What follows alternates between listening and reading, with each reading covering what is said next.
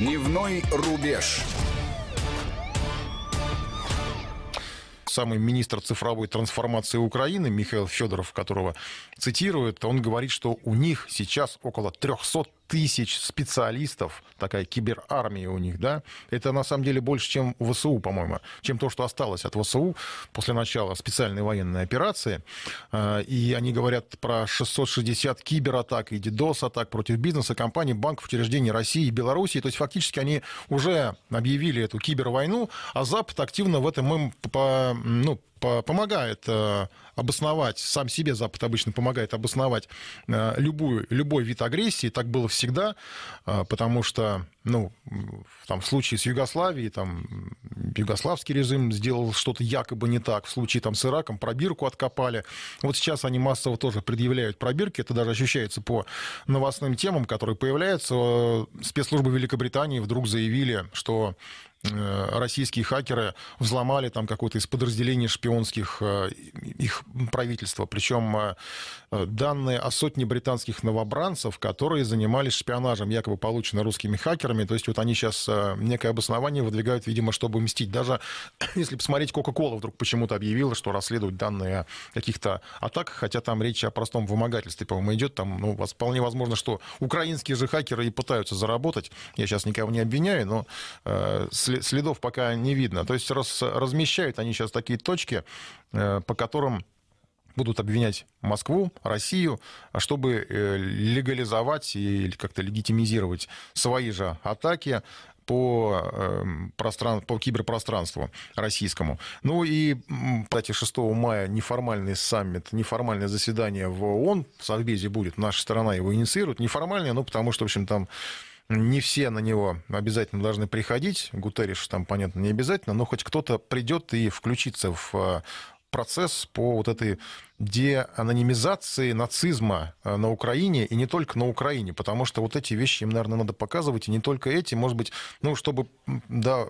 Заявлено, да, что там будут представлены материалы и доказательства, которые, ну, в принципе, уже не должны оставлять сомнений. А, а еще надо еще кое-что показать. Надо, наверное, Арестовича показать уже врачам давным-давно. Есть такой, если вы помните, советник у э, Зеленского. Иногда непонятно вообще, чем он занимается. У него вообще советников много. Тут вот э, Михайло Подоляка э, объявил, что Украина будет наносить удары по военным складам и базам на территории России, как только получит тяжелые вооружения, которые они ждут от Запада. Видимо, два советника этих встретились, э, Подоляк и Арестович, потому что Арестович вообще обещает какую-то страшную битву, но не сейчас. Битва у него запланирована на лето. Ну, как всегда, он своим таким э, голосом э, психотерапевта обрабатывает украинскую, видимо, аудиторию, свою паству. Давайте послушаем этот бред. По новому срокам выходит, что к концу мая, начало июня, Западное оружие поступит в товарных количествах, способное изменить соотношение сил и средств на конкретном участке фронта. Может быть, на двух, может быть, на трех. И мы, значит, где-то к середине июня получим, я так думаю, боеспособные части, вооруженные этим западным вооружением, готовы переходить в наступление. Короче, где-то вторая половина июня, а скорее июль, это запекли бои, а, в смысле по-русски, ожесточенные бои, только украинская армия пойдет в наступление. Вот э, Арестович готовится к ожесточенным боям. Ну, Тут он Киев, накануне еще и Приднестровье заявили... грозился захватить, да, то есть, в общем, Казань брал, что там еще, да, э, ну, Киев, Сейф кажется, уже заявлял, что, в общем, за все, что несет Арестович, они ответственности не несут. Ну, тем не менее, такие ну, заявления были. Там за все, что несет Очень. любой представитель киевского режима, по-моему, никто ответственности давным-давно не несет, включая Зеленского, но, тем не менее, это вот э, они же работают на аудиторию, они работают в том числе на украинскую аудиторию, которая вот впитывают это, там на самом деле как бы им даже что-то пишут, я уж не знаю, там, может быть, их же там помощники этих советников пишут в хвалебные комментарии, но Арестович, конечно, мы не можем не напомнить, он действительно странный персонаж. Некоторое время назад он утверждал, что, наверное, он до сих пор в этом уверен, что он изгнал дьявола. Он встречал дьявола, изгнал его из мальчика, э, которого он, его позвали, я так понимаю, лечить, что ли. То есть, ну, тут на самом деле абсолютная бесовщина, и шарлатанство, вот так, наверное, можно сказать. Давай, я просто напомню, давайте посмотрите, это, это надо видеть. Да, там был какой-то ролик про... Дьявол-то есть, на самом деле. А это очень хорошо видно. Я могу вам рассказать в случае своей биографии. Я вам расскажу про своего первого клиента. Значит, меня приглашают в монастырь такой под Киевщиной, где э, четырехлетний мальчик с тяжелой формой рака. Я захожу в келью. В келье так, стоит опрокинутая тарелка с борщом, с едой разбросана, где пытались кормить. Разброшенные игрушки детские. Келья закрыта, солнца нет. Хотя день был такой апрельский солнечный. И э, четырехлетний ребенок выгибается и кричит так, что разбрасывает четырех здоровенных монахов, монахов, которые пытаются удержать. Причем рев такой даже не медвежий, чист, чисто демонский такой сатанинский. Значит, экзорцист. Экзорцист, да. Я сажусь на него, смотрю на него, я понимаю, что у него подселение в чистом виде. Идет. Я думаю, что же с этим делать, как бы, да. И вот прислушиваюсь к внутреннему человеку. Внутренний человек мне говорит, я беру за левую ручку. И четыре с половиной часа, которые прилетели как одно мгновение, я смотрю ему в глаза. Я посмотрел на этого ребенка, я очень четко увидел, что он умрет, что ему не, не выжить. То есть бороться за здоровье бесполезно. Я думаю, а за что же бороться? А бороться за то, в, в каком состоянии сознания он уйдет, конечно. И вот это вот, то отгонишь этого товарища, то он вернется, то отгонишь, то он вернется и так далее. Но за 4,5 часа мы его нафиг выгнали, и я вернул ребенка. Я вам скажу, что в этом взгляде я увидел, ну вот когда было подселение, я увидел многое. Я понял, с кем я имею дело. Так вот, этот ребенок умер на следующий день. Но монахи мне сказали, что он умер абсолютно как вот, как легкое облачко улетело светлое, и радуга стала над домом. Ну, вот это полна для полноты просто картина Артист, описания этого персонажа. Экзорцист. Фильм Константин, наверное, посмотрел э, и решил стать Киану Ривзом, что ли. А вообще, конечно, ну, э, подселение у него, дьявола он выгонял, э, да, это сектантство в таком самом диком его проявлении. Вспомните, на самом деле, с чего начинался-то Майдан. Вернее, начиналась постмайданная жизнь. С пастора Турчинова, кровавого пастора. То есть вот это вот э, около сектанство и такое глубокое сектанство на Украине, да вообще все, все, весь этот майданный режим, это какое, какое-то сплошное сектанство. Ритуальные скачки. Э, и стоит ли после этого удивляться, что огромное количество людей действительно они заразились э, вот этим вот... Ну, это тут не надо, наверное, таких прям глубоких аналогий проводить. Вспомните, как в 90-е годы, в тяжелые 90-е годы у нас в России здесь э, различного рода секты, и коммерческие секты, и религиозные, псевдорелигиозные секты здесь плодились просто как твари и затягивали к себе людей, просто лишая их там разума, ну, в первую очередь разума, а потом уже имущества, а потом и того, и другого. Вот э, поскольку Украина, она так и не смогла пережить кризисный период постсоветский, она, видимо, это на ней, это сектанство, оно так и прилипло к ней, потому что весь режим какой-то украинский, он стал сектантским. Вы посмотрите, как говорит Зеленский, да, вот это уж тоже, тоже какой-то вот он, ну, он пытается изображать из себя какого-то чуть ли не проповедника. Арестович-то уже давным-давно, по-моему, совсем с катушек слетел. Поэтому стоит ли удивляться, что такое огромное количество людей подверглось этой обработке. И теперь это сектантство, оно расползается, на самом деле, по миру. Вы посмотрите на эти нацистские э, лозунги, которые они ретранслируют по Европе. Э, что, чему научила эта секта украинцев за все, ну, хотя бы за последние 8 лет?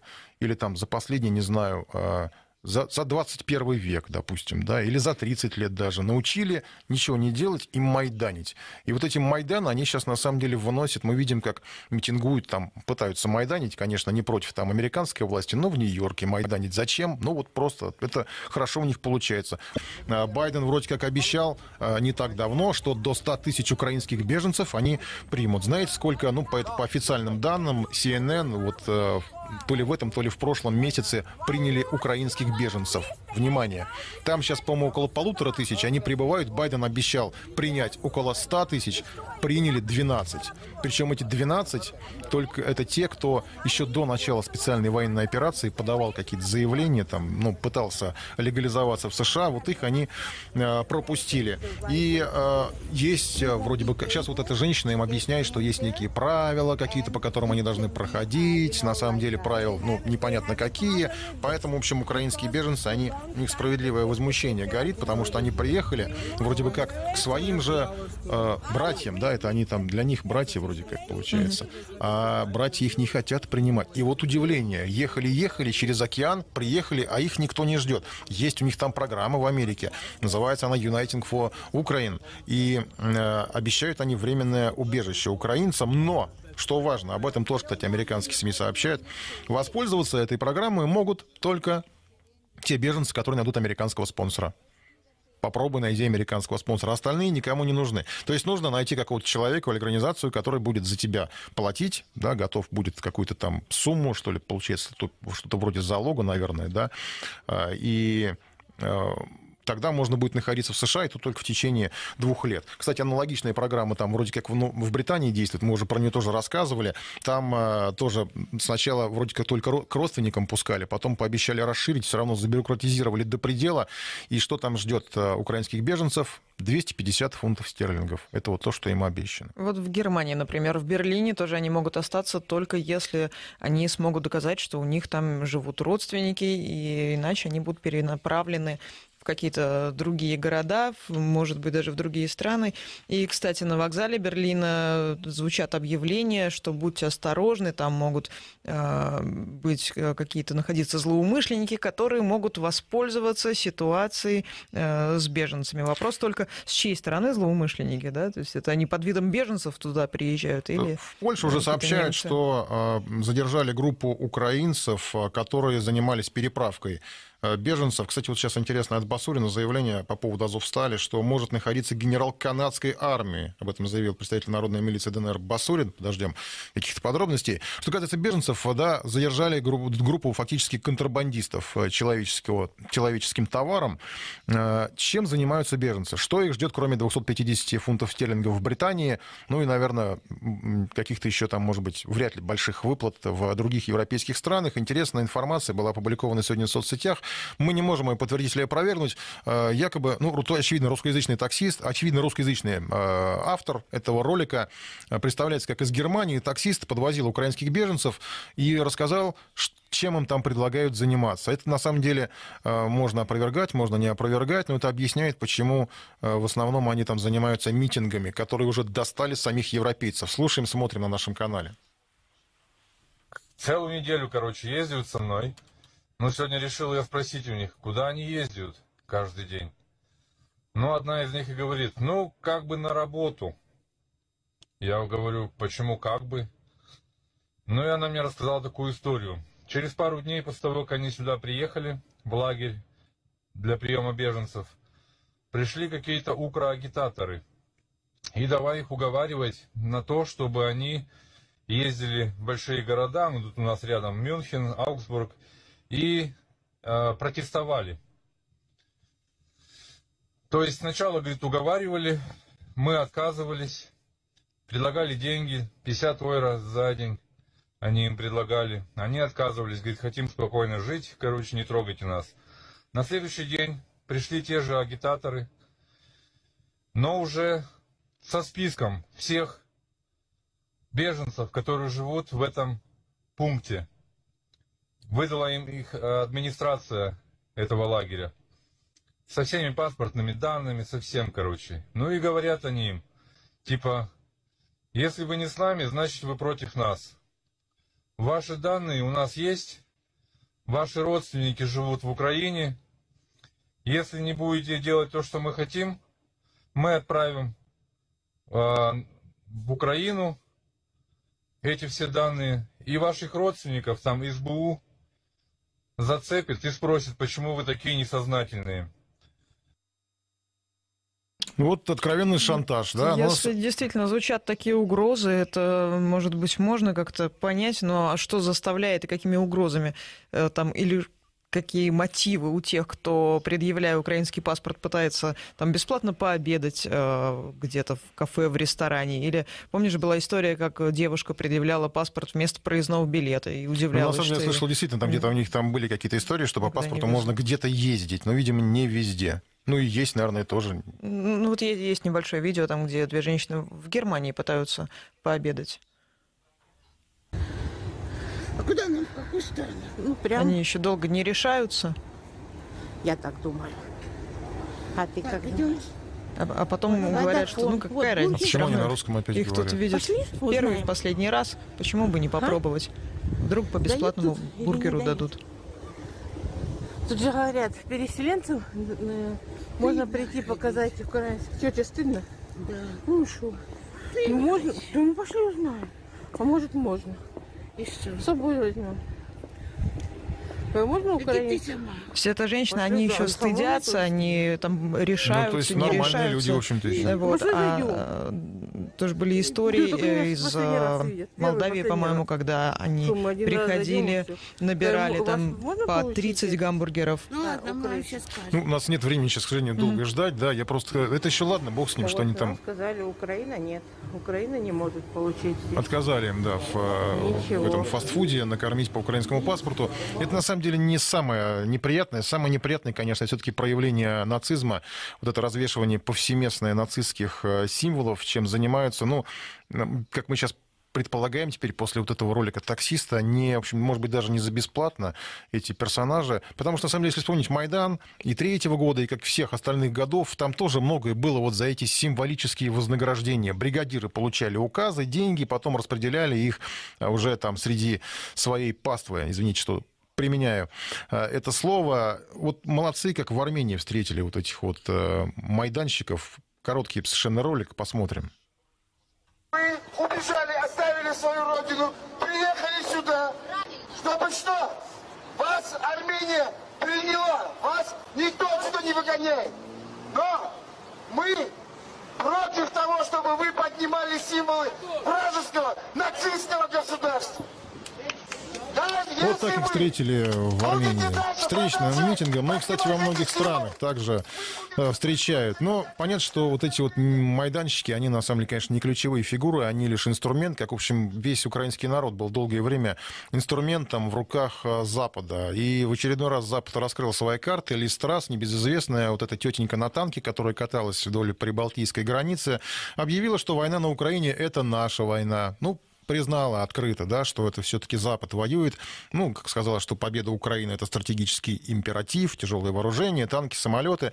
Все там обещала изучить резервы и снабдить, э, укрепить восточный фланг Альянса, про глобальное НАТО сказала. Ну, чего еще от них ждать? Это понятно. Министр э, иностранных дел Британии вот такие заявления делают. Вообще по дипломатической линии там полная беда на Западе. Здравомыслящие люди, конечно, остались. Оливер Стоун на днях буквально сказал. В общем, не глупые вещи. Вспоминал Кеннеди, кстати, который в 63 году говорил про мир во всем мире, что это не должен быть американский мир, навязанный с помощью оружия.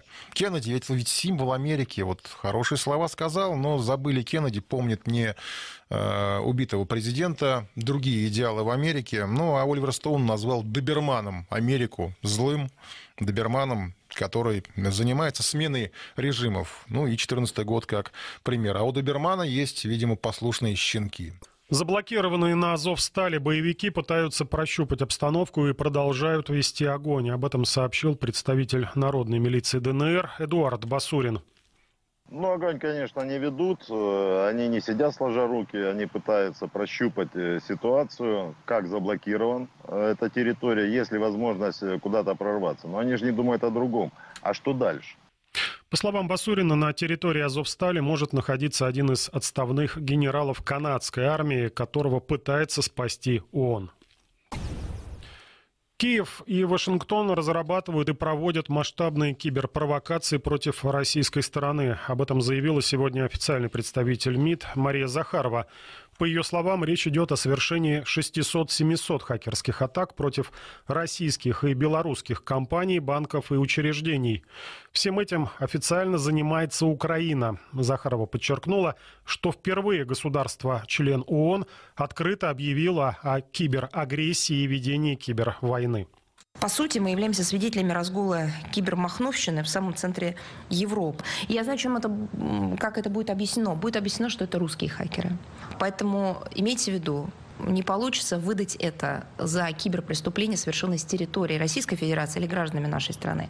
К масштабной провокации в киберсреде сейчас начата подготовка киевским режимом, Соединенными Штатами Америки и коллективным Западом, натовскими структурами, ЕСовскими структурами. Мы это фиксируем. Мария Захарова напомнила о высказывании украинского министра цифровой информации Федорова о формировании первой в мире киберармии численностью 300 тысяч киберсолдат. Накануне Федоров признал, что Украина причастна к организации более 660 кибератак против предприятий и учреждений России и Белоруссии. А ранее власти США, Канады, Великобритании, Австралии и Новой Зеландии предупредили объекты жизнеобеспечения своих стран о якобы готовящихся кибератаках из России. Утверждалось, что из-за ситуации на Украине они могут стать целью атак хакеров. Москва жестко опровергла подобные предположения. Что касается атаки на российское киберпространство, то, по словам гендиректора компании «Закурен» Алексея Раевского, не исключены попытки нарушить работу интернет-провайдеров, банков, объектов, имеющих отношение к национальной безопасности. Я думаю, что мы от этого защищены в той или иной степени. По крайней мере, до сегодняшнего дня каких-то особых проблем, связанных с этим, не было. А уж говорить о том, насколько мы защищены от каких-то потенциальных проблем, довольно-таки сложно, потому что пока мы с этим не столкнулись, нельзя оценить степень защищенности.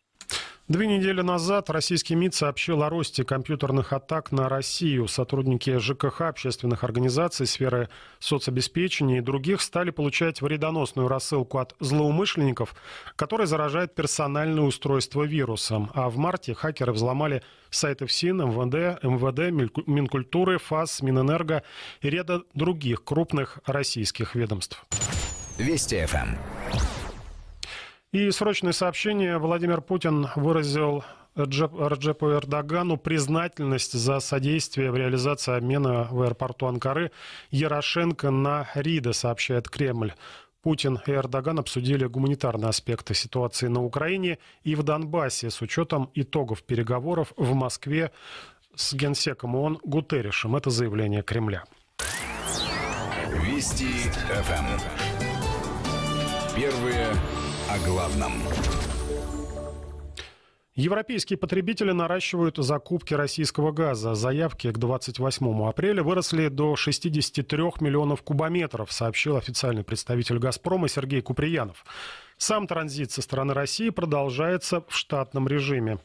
Тем временем страны, которые остались без российского газа из-за нежелания платить по новым правилам через «Газпромбанк», переходят на так называемую реверсную схему. Польша в пять раз увеличила обратные поставки голубого топлива из Германии по газопроводу Ямал-Европа, а Болгария надеется на газ из Греции. Почему поляки и болгары готовы переплачивать за газ? Ситуацию в нашем эфире прокомментировал гендиректор Фонда национальной энергетической безопасности, первый проректор финансового университета при правительстве России Константин Симонов. Польша и Болгария пытаются всячески изобразить из себя жертв вероломной агрессии со стороны э, России, несчастных, обиженных «Газпромом». Европейская комиссия всячески этому способствует, называет это газовым шантажом, и позицию Польши и Болгарии используют для того, чтобы остальных крупных, серьезных покупателей газа, ну, можно сказать, пристыдить тем, что они собираются переходить на рублевую оплату, открывают счета в Газпромбанке. И вот, собственно, сейчас как раз э, и есть попытка изобразить это вот в таком аспекте, что ну вот смотрите, что же сделал «Газпром»? Он же перекрыл нам вентиль. Какой ужас! Он нарушил контракты. При этом э, никто не обращает внимания на то, что «Газпром» не получил оплату за поставленный газ. И, кстати, этот вопрос еще остался, собственно. За поставленный газ надо все равно как-то заплатить. И после этого произошло отключение от поставок, причем «Газпром» специально подчеркнул, что после получения оплаты поставки могут возобновляться. И это тоже такой интересный сюжет, когда Польша кричит, что ее там сейчас пытаются заморозить, осуществляет газовый шантаж, это, безусловно, давление. Но при этом, на самом деле, есть вполне понятная схема, причем Европейская комиссия на прошлой неделе разъяснила, что эта схема, ну, на самом деле не нарушает. То есть, она, ну, у нее там было такое сложное письмо, что вроде санкции нарушает, но если вы сами рубли не приобретаете, то мы можем считать, что санкции не нарушает. То есть в этом плане схема вполне понятна. Европейская комиссия, как ни странно, в общем-то, так скрипя зубами, но, но можно сказать, что одобрена. Что мешает перейти на э, оплату в рублях. Ничего не мешает, кроме желания как раз создать этот прецедент и скандал.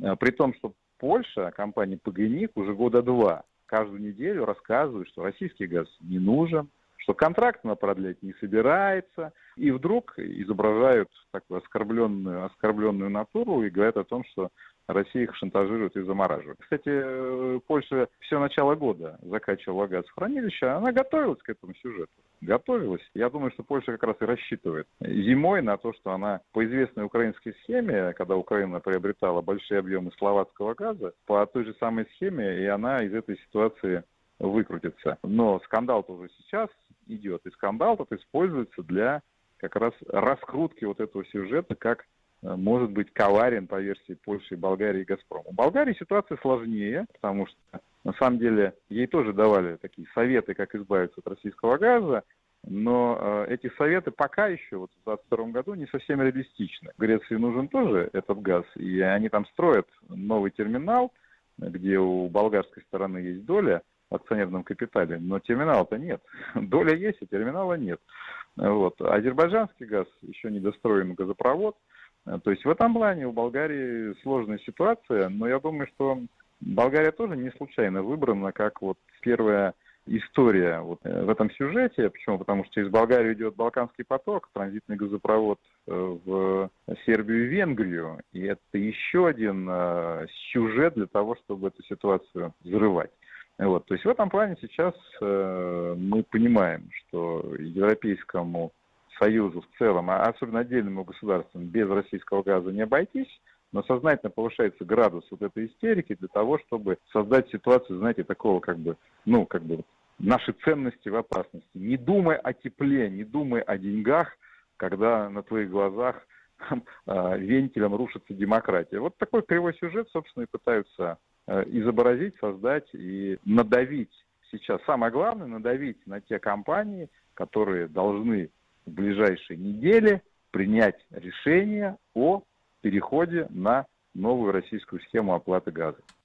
Гендиректор Фонда национальной энергетической безопасности, первый проректор финансового университета при правительстве России Константин Симонов. Глава британского МИД э, требует от Запада увеличить траты на оборону. Лиз Трасс заявила, что в будущем 2% от ВВП страны в фонд НАТО от его участников должны стать минимальным взносом, а не традиционным, как сейчас. По ее словам, Британия всецело поддерживает заявку Финляндии и Швеции на вступление в Североатлантический альянс. Еще Листрас пригрозила Китаю, пообещав стране санкции, сравнимые с антироссийскими. Подробнее о заявлениях наш лондонский корреспондент Елена Балаева. В бюджете Великобритании за прошлый год в строке НАТО стояла цифра в 2,3% ВВП страны. По сравнению с другими странами-участницами Североатлантического альянса королевство отчисляло на нужды натовской армии много.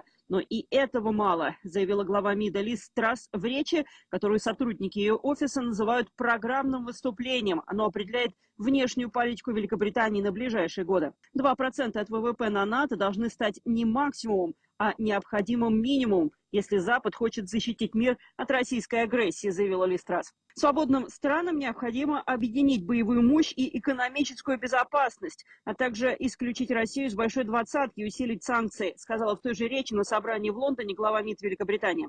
Слово это был пасхальный банкет в резиденции лорд-мэра лондонского Сити. Цитата. Архитектура, которая была разработана для того, чтобы гарантировать мир и процветание, не сработала на Украине большая двадцатка не может функционировать в качестве эффективного экономического органа, пока Россия находится за столом. Конец цитаты. Вместе с экономическим давлением на Москву Трасс предлагает западным странам вдвое увеличить военную помощь Украине, а также не оставить в стороне другие страны-соседки России и начать отправку военной помощи в Молдову и Грузию. И если Швеция и Финляндия все-таки решатся вступить в НАТО, сделать процесс их интеграции очень быстрым, заявила Листрас. Новый бюджет Великобритании представят только осенью, но пока, в отличие от главы британского МИДа, премьер страны и главный казначей не спешат заявить о возможных повышающихся тратах на оборону. Наоборот, всячески это отрицают. Отдельную главу выступления Листрас посвятила Китаю, предупредив его, он должен играть по правилам, если не хочет, чтобы против него были применены те же санкции, что и против Москвы. Цитата. «Китай не является непроницаемым. Говоря о подъеме Китая как о неизбежности, мы сами делаем работу за Китай. На самом деле его подъем не является неизбежным. Он не продолжит расти, если не будет играть по правилам. Китай нуждается в торговле с группой семи. Мы представляем около половины мировой экономики, и мы можем делать выбор, сообщила Ли Страс. Китай обычно очень сдержанно реагирует на заявление главы британского МИДа и вообще на заявления западных политиков. Вот и в данном случае он пока хранит молчание. Елена Балаева, Вести ФМ, Лондон. Мировую экономику ожидает сильнейший за последние полвека кризис. И проблема не в ситуации на Украине и антироссийских санкциях. В чем проблема, разбиралась Екатерина Косинец.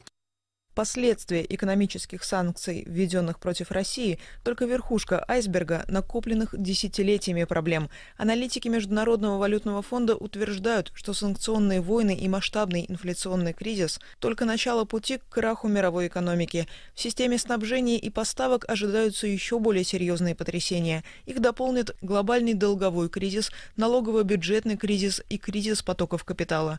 Причина, по мнению экспертов, в том, что последние годы в мировой экономике лечили симптомы, а не заболевания. Каждую возникающую проблему пытались разрешить отдельно, упуская, что процессы взаимосвязаны. Так сегодняшний рост цен на топливо лег на почву, подготовленную накопленными долгами, развивающейся инфляцией, пандемией и угрозами климатических изменений. На этом фоне усиливается риск раскола мировой экономики на геополитические и экономические блоки, что сведет на нет обеспеченные несколькими поколениями общественные и экономические достижения, разрушит систему международных экономических отношений, которая создавалась последние 75 лет. Инфляция усилилась за счет резкого роста цен на сырьевые товары, дисбаланса спроса и предложения еще до начала российской военной спецоперации – с одной стороны, чтобы затормозить инфляцию, Центробанкам неизбежно придется повышать процентные ставки. С другой, ужесточение финансовых условий будет препятствовать экономическому росту. При всем этом налоги необходимо будет отрегулировать таким образом, чтобы общая задолженность не росла. Происходящее на нефтяном рынке аналитики называют «холодной войной». Страны-потребители оказались в неравных условиях. Теперь цена барреля зависит не только от сорта и затрат на доставку, но и от положения поставщика на мировой арене. Отказ от российской нефти – политический жест, который будет стоить дополнительных расходов. Но не все смогут себе это позволить. Для таких стран, как, например, Индия, покупка у России позволит сэкономить до 40 миллиардов долларов в год, а это полтора процента ВВП страны. По прогнозам Всемирного банка в 2020 году энергоносители подорожают вдвое, а на остальные товары цены вырастут почти на 20%. Есть вероятность, что через некоторое время стоимость товаров будет будет снижаться, но к прежним значениям уже не вернется. Конфликт на Украине может привести к сильнейшему за последние 50 лет кризису, считают эксперты.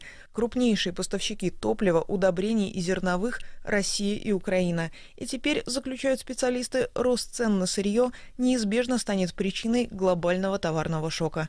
Екатерина Косинец, Вести. В этой получасовке поговорим об экономике, о финансах, о том, что происходит э, с рублем, с иностранными валютами и со ставкой Центробанка, которую завтра будет обсуждать Совет директоров, вернее, расскажет о результатах. И поговорим э, с финансистом, членом Президиума Совета по внешней и оборонной политике Александром Лосевым. Александр Вячеславович, здравствуйте. Здравствуйте. Да, и если э, возможно, хотел прокомментировать вот самые последние заявления э, Белого дома э, Соединенных Штатов. По поводу выступления сегодняшнего Байдена. Байден будет новые инициативы по антироссийским санкциям вечером озвучивать.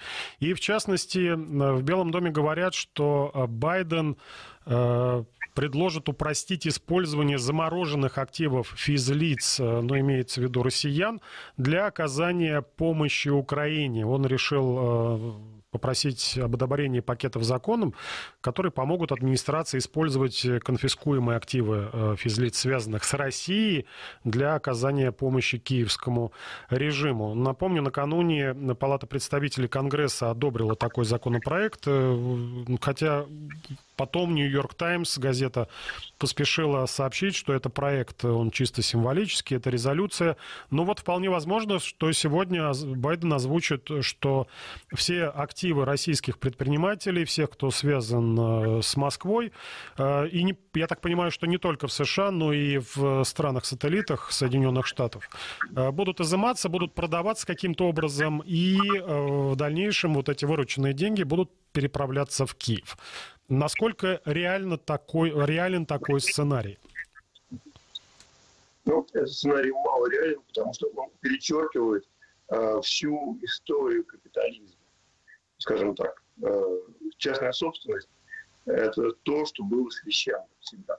И активы предпринимателей или активы граждан, пусть даже страны, которые с вами воюют, э, вот конфискация этих э, активов и использование их для каких-то других вещей – это то, что делают третий да, то есть Байден э, сейчас предстоит э, пойти, пойти либо по пути Гитлера и перечеркнуть э, все, что было за последние 200 лет сделано в Америке, все, что за последние 800 лет было в Англии, когда вот священная корова частной собственности, и это было основой того, что был выстроен финансовый центр и сначала в Великобритании, потом в Соединенных Штатах.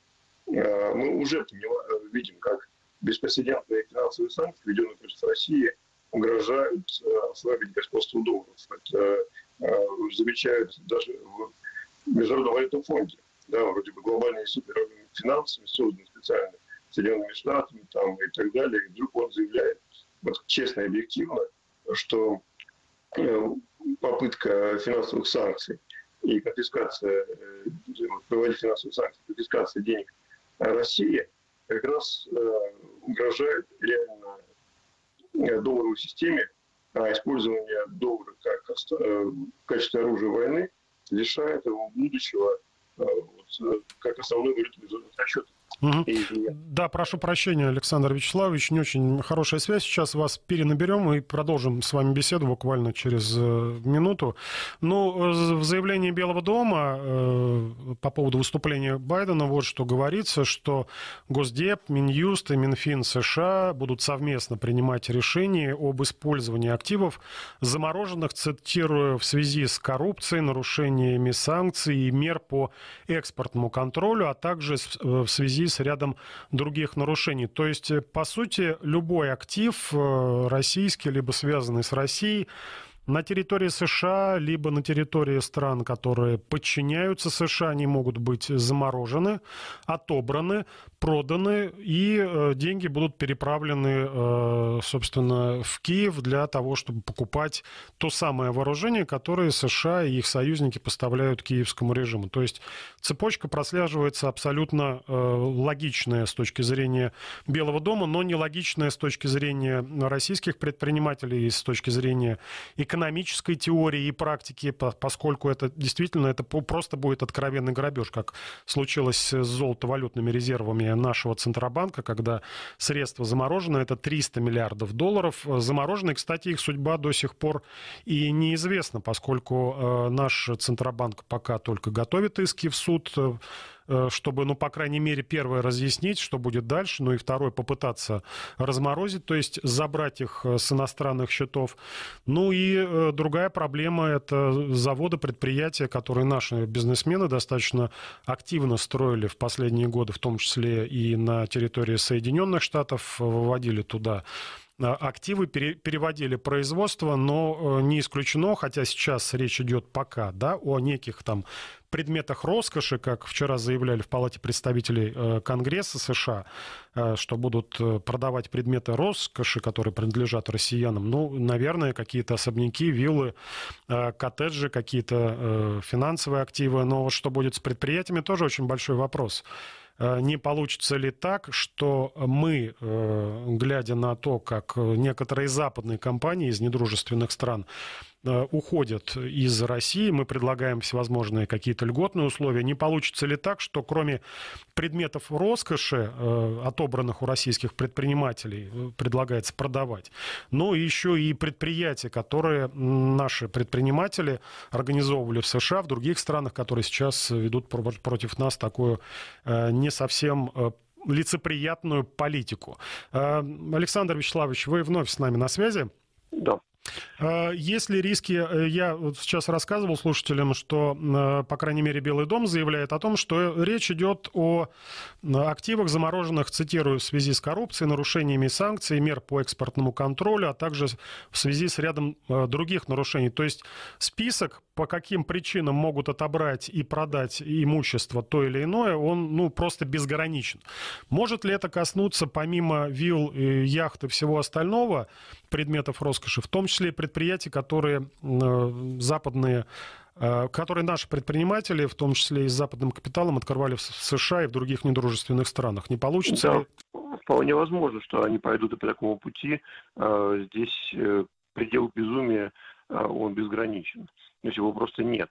И это будет еще одним серьезным ударом по Соединенным Штатам. Как я начал говорить, что uh-huh. финансовые санкции, введенные против России, угрожают ослабить господство доллара, потому что когда доллар становится оружием экономической войны, то все страны э, стремятся найти альтернативы для расчетов. То же самое здесь. Э, прецедент, а все же привыкли, что англосаксонское право – прецедентное право. Э, будет очень э, плохим не только для э, российских компаний, российских предпринимателей.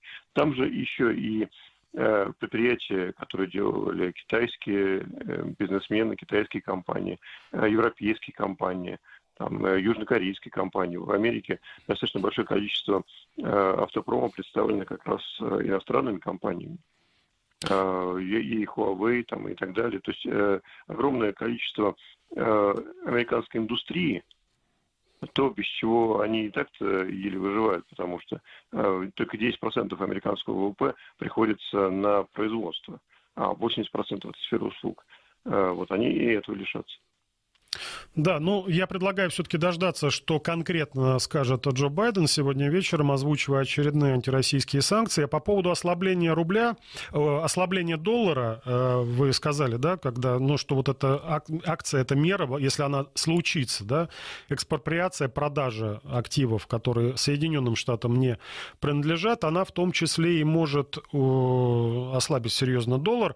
И есть сейчас появились разговоры о том, что в вполне возможно э, привязка к золоту нашей национальной валюты. Э, в частности, э, секретарь Совбеза Николай Патрушев рассказал, что в России будет разработана и испытана новая финансовая система, которая предполагает привязку к золоту и валютным ценностям. Изменение способа привязки национальной валюты является условием обеспечения экономической безопасности России. То есть цель сделать вот эту новую привязку рубля к золоту к иным ценностям, то есть обеспечить рубль, рубль теми товарами, которые за рубль можно купить. Тогда будет рубль стоить э, столько, сколько товаров в России за рубль можно получить. Эксперты говорят, что это приведет к укреплению рубля и нанесет еще один удар к доллару. К технически вот эта привязка к золоту, как она может выглядеть, насколько это осуществимая идея в ближайшее время?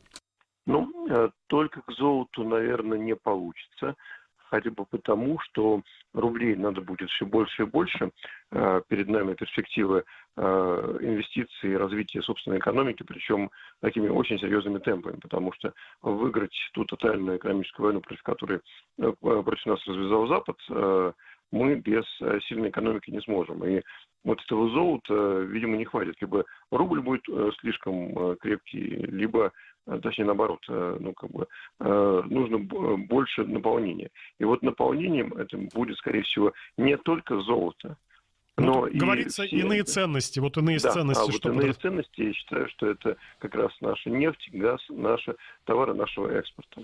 А потому что как только президент Путин сказал о том, что мы переходим с Европы в расчетах за газ за рубли, вот как раз с этого момента и наступил по-настоящему звездный час для российского рубля.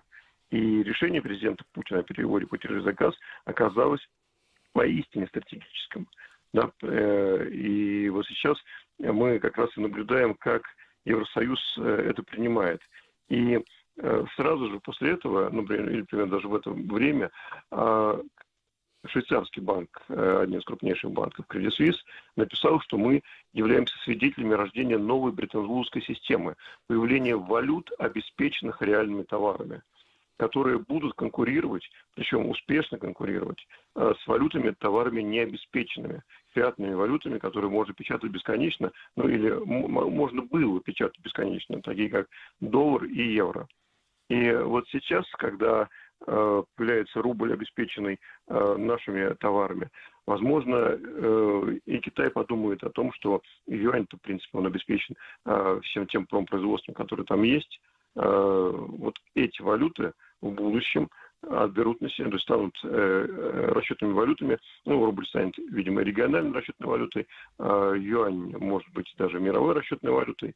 Но это создаст новый мировой денежно-кредитный порядок основанные на валютах, обеспеченных, обеспеченных реальными товарами. Поэтому я считаю, что э, у нас рубль может быть обеспечен и золотом, и энергоносителями, и э, тем, э, что мы производим. Не сырьевые товары, зерно там. Э, ну да. Э, как это было когда-то? Просто золото это универсальный эквивалент.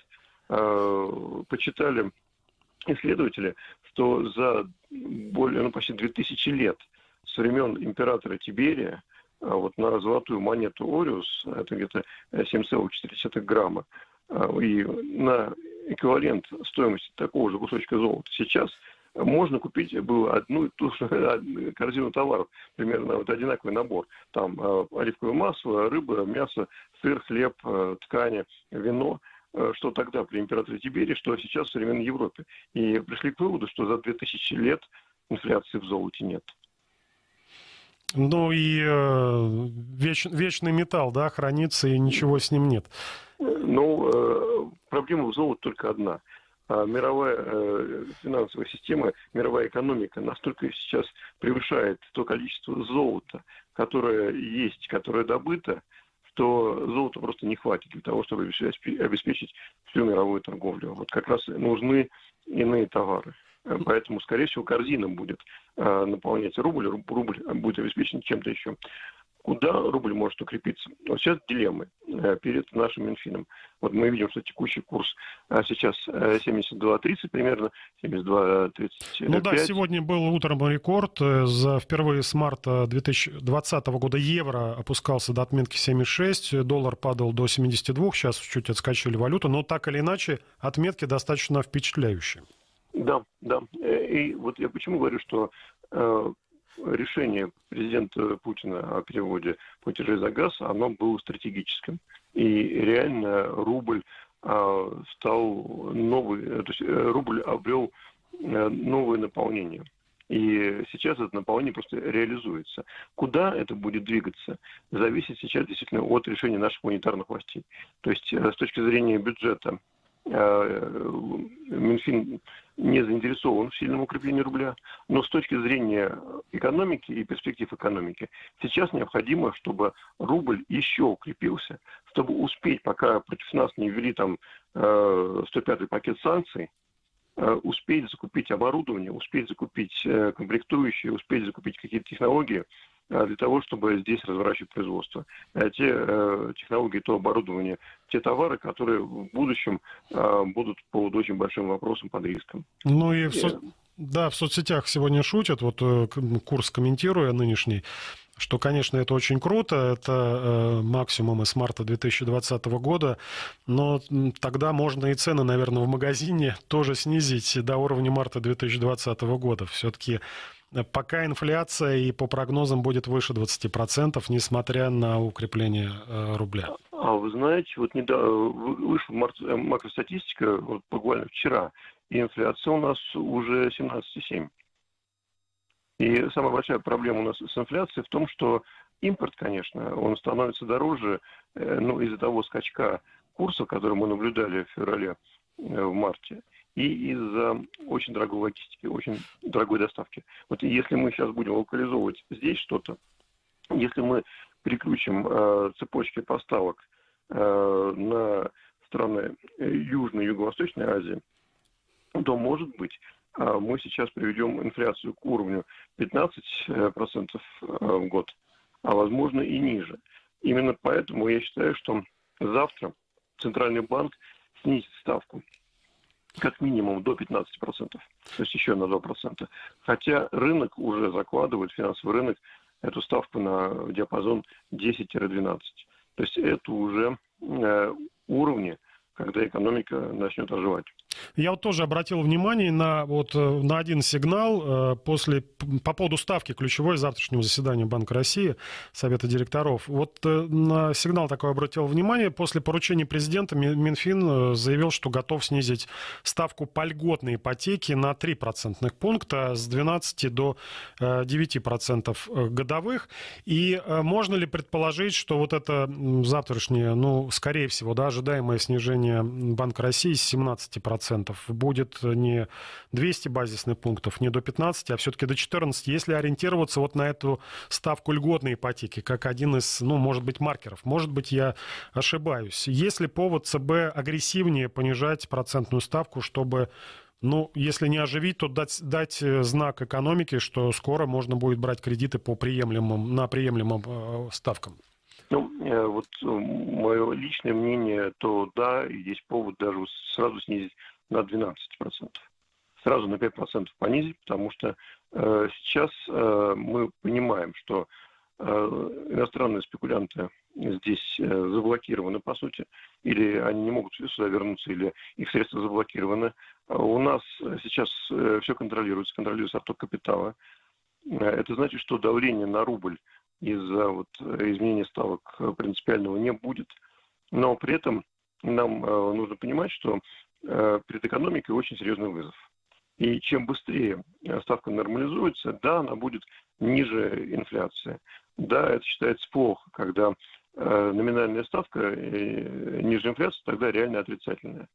Но если мы увидим подъем экономики, то это самый анти, лучший анти, антиинфляционный фактор, потому что когда у вас э, деньги работают а, не на покупку импорта, на производство здесь, когда они инвестируются в какую-то какие-то производственные мощности, в инфраструктуру, куда-то еще, то они не влияют э, на вот эту базовую, на корзину инфляции. Да, они по-другому работают. И смотрите, вот э, тут пример западных стран, когда э, печатали, печатали, печатали доллары, там триллионы долларов, инфляция была около нуля. Да, потому что деньги уходили ну, либо на фондовый рынок, либо недвижимость, либо еще на какие-то проекты. Но нужны проекты. И вот, возможно, нам придется сейчас срочно создавать еще один контур, денежно-кредитный контур. Вот э, Николай Платонович Патрушев э, в, такой, в, своей, э, в своем известном уже всем интервью в российской газете как раз и написал не только про золотое обеспечение рубля, но и про, про контурную систему.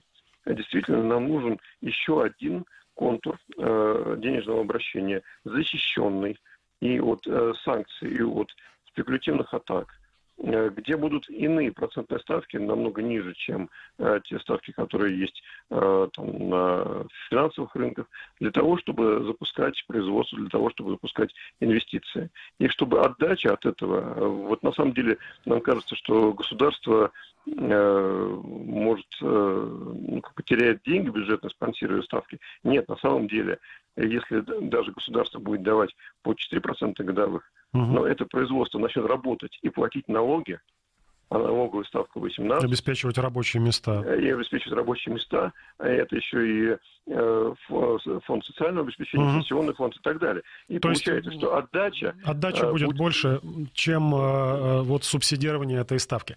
Понятно. Спасибо большое, Александр Вячеславович. Александр Лосев, финансист, член Президиума Совета по внешней и оборонной политике, был с нами на связи. Обсудили некоторые текущие важные из области экономики.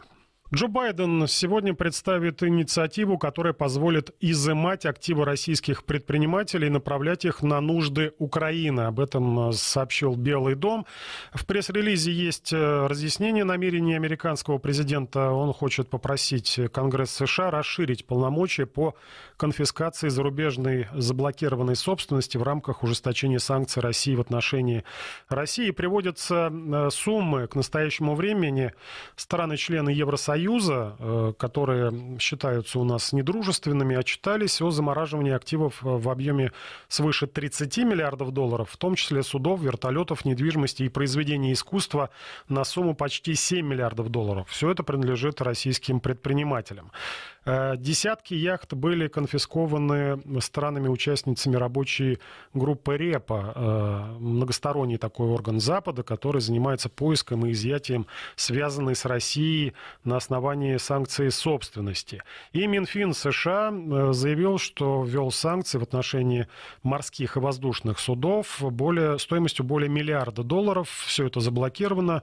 Также заморожены авуары, то есть некие денежные активы, либо бумажные активы, акции, облигации в объеме, в объеме сотен миллионов долларов, которые принадлежат российским элитам и находятся на счетах в американских банках, заявляет Белый дом. Что означает это э, для, ну, в первую очередь, для российских предпринимателей и создает ли это прецедент в международном праве? Мы поговорим с экспертом. У нас на связи президент Российской ассоциации международного права, доктор юридических наук Анатолий Капустин. Анатолий Яковлевич, здравствуйте. Добрый день. А, э, что поправляет Байдену вот этим предложением в Конгресс? Ведь блокировка была, но, я так понял, э, не доходила до собственности предпринимателей. Либо там какие-то другие есть нюансы? Ну, трудно сказать, я еще пока не ознакомился с этим документом. Но что могу сказать? Э, что касается мотивов, тут мотивы могут быть разные и, или, так сказать, причины. Вопрос в том, что э, одно дело, когда принимаются законодательные меры о блокировке, там, замораживании и иных э, каких-то действиях по э, отношению к собственности иностранных там, юридических или физических лиц. И другое дело, так сказать, когда уже принимаются меры по их изъятию, так сказать, передаче там, и так далее, и так далее. То есть, видимо, вот речь идет о втором этапе, когда Э, уже одной, так сказать, одного, одних этих, э, так сказать, как бы предупредительных мер недостаточно, поэтому переходит к мерам уже таким пресекательным, исполнительным и так далее. Но я должен сказать, что с точки зрения э, международного права это действие не, в коем случае незаконное. Государство может применять вот подобного рода Э, законодательные и исполнительные меры только в исполнении резолюции Совета Безопасности ООН. Поскольку, поскольку американцы, Байден и его команда, они сами определили, э, так сказать, кто что нарушает, и сами приняли соответствующие решения, поэтому эти решения нелегитимны. То есть надо понимать, что у наших собственников, у российских предпринимателей, там, бизнесменов, э, лиц, э, иных лиц, которые владели э, этими активами, так сказать, там, имуществом и так далее, у них сохраняется право на подачу иска, в том числе в американские суды, или если они обратятся к государству, государство может, так сказать, оказать содействие им э, в создании каких-то международных структур, э, арбитражей и так далее, с целью возвращения э, соответствующего имущества как изъятого или, так сказать, замороженного вот на отсутствие каких-либо законных оснований. Потому что у американцев нет никаких прав в отношении э, имущества других лиц. Э, э, здесь бывает, ну, международное право признает возможность реквизиции в случае необходимости, в случае вооруженного конфликта, но в мирное время вот так вот произвольно брать и нарушать чужое право собственности, это противоречит и э, принципу верховенства права, который в американской конституции, как они утверждают, закреплен, и вообще американскому законодательству. Поэтому я думаю, что у наших э, граждан, э, юридических лиц российских, э, будет возможность защищать э, э, свои права вот в американских судах.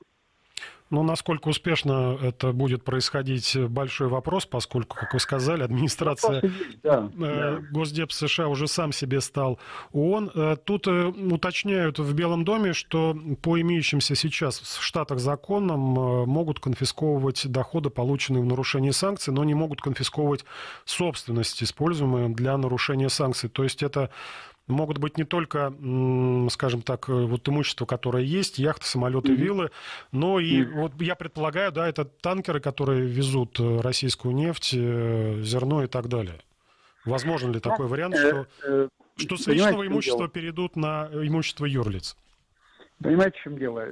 Я думаю, что вот американские, вы правильно сказали, американские в самом начале, о том, что американская судебная Э, практика, она ведь основана на прецеденте. Поэтому, э, если бы были такие подобного рода случаи, так сказать, когда э, такого рода акты, так сказать, ну, обжаловались, так сказать, в судах или в других инстанциях, то э, в таком случае, так как бы, так сказать, стало ясно, есть здесь возможность или нет. Я просто что хочу сказать. Э, когда вот мы говорим об этих э, э, законах и санкциях, которые приняты, здесь ведь возможен и другой вариант, так сказать, когда не, нужно жить только сегодняшним днем.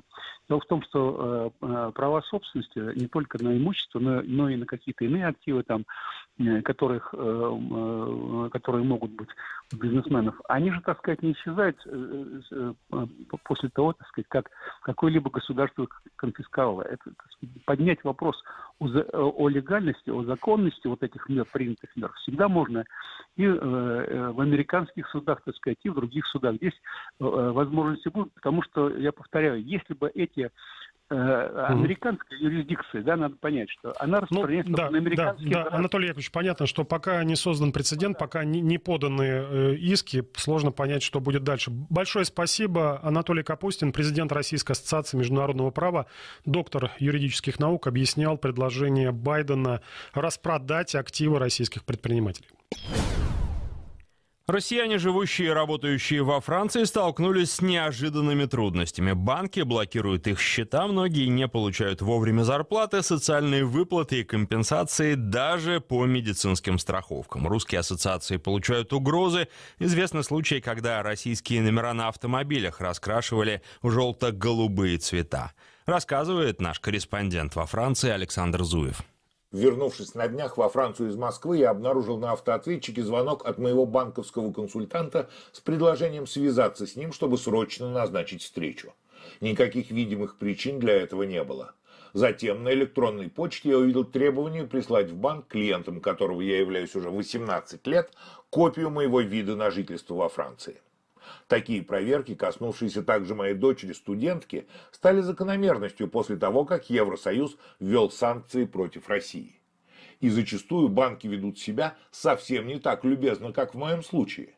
На это обратила внимание даже французская пресса. Статьи о том, как выходцам из России отказывают в открытии счетов, блокируют денежные переводы, в том числе зарплаты, социальные пособия, опубликовали «Фигаро», «Францинфо», «Эко» и многие другие СМИ.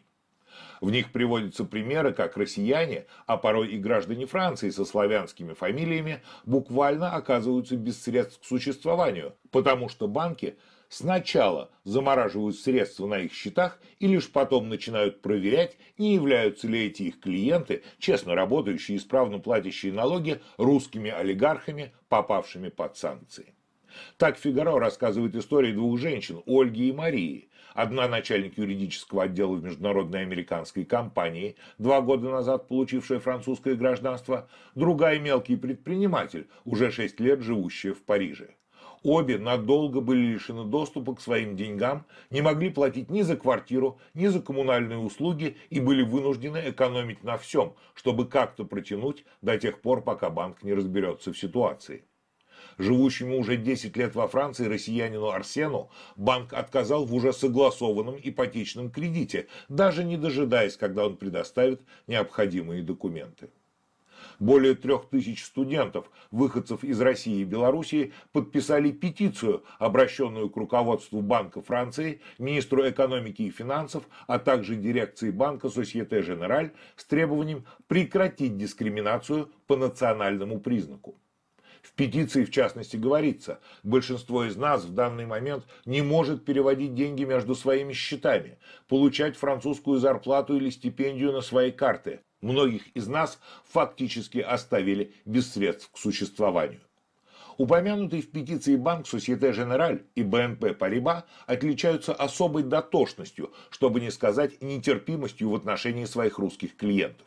Специалисты объясняют это тем, что в 2018 году Societe Generale, а четырьмя годами ранее БНП заплатили многомиллиардные штрафы, чтобы избежать судебного преследования со стороны США за нарушение экономического эмбарго в отношении Кубы, Ирана и Судана. И теперь, обжегшись на молоке, банкиры дуют на воду.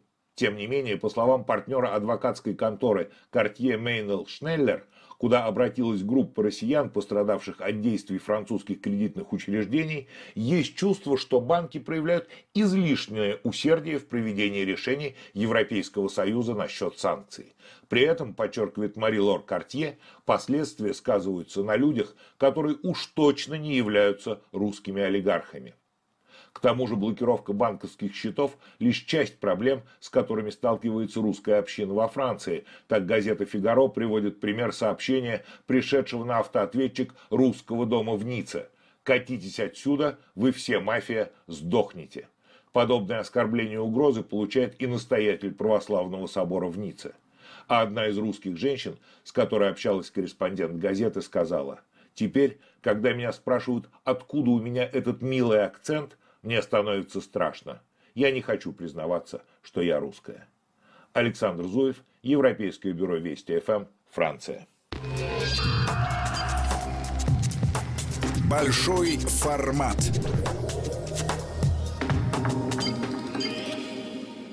Водители теперь могут оформить ДТП без ГАИ с помощью сервисов страховых компаний. Никаких дополнительных приложений устанавливать не придется. Страховщики уверяют, что вся процедура займет не больше 15 минут. Еще один плюс – заполнять Европротокол можно сразу на двух мобильных устройствах. Раньше оба участника ДТП должны были делать это с одного телефона.